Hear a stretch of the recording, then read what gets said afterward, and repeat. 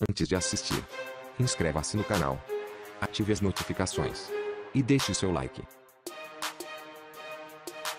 Novela Gênesis, capítulo 99, sexta 04 de maio. Massá surpreende Rafik e seus homens. Agar e Ismael são surpreendidos por um anjo. Abraão sela uma aliança com Abimeleque. Omar implora o perdão de Leora. Nove anos depois, Abraão é surpreendido por Deus, que pede um sacrifício.